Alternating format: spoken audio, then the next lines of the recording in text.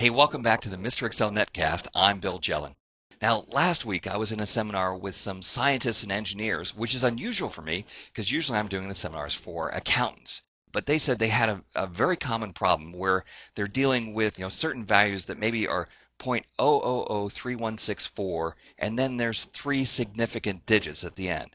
And they said it's a real hassle to have to type in all of those digits that are completely the same, and they had a utility there that someone had written for them a long time ago that would scale numbers.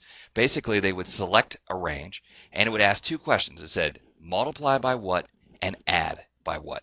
And they said, you know, basically, with those two questions, we could convert a range of numbers to anything. So in that case, we might multiply by 0.00001 and then add 0. And I said, okay, well, that's a simple thing to do in VBA. Let's switch over and we'll do it here as one of the podcasts. So I'll insert a module and I'll call it sub scale selection. So we have to ask two questions. X equals input box multiply by what? And I'm even going to put a default in of 1. y equals input box add what? And the default there is going to be equal to 0. Okay, now, then we say for each cell in selection, cell dot value equals cell dot value times x plus y next cell. There it is. Five lines of code and we're home free. Now, scale selection, I'd like to assign a shortcut key to that.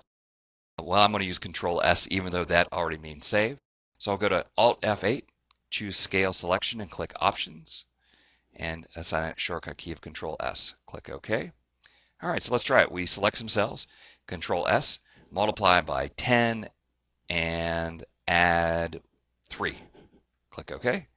And that quickly, it's gone through and done the transformation apparently a very useful tool for engineers who are dealing with numbers that uh, they just have to enter the significant digits. And then they use the scale tool. So it's a great little macro. I love the macros. You know, this one, five lines, that does something that will save people a lot of time. Well, I want to thank you for stopping by, and we'll see you next time for another netcast for Mr. Excel.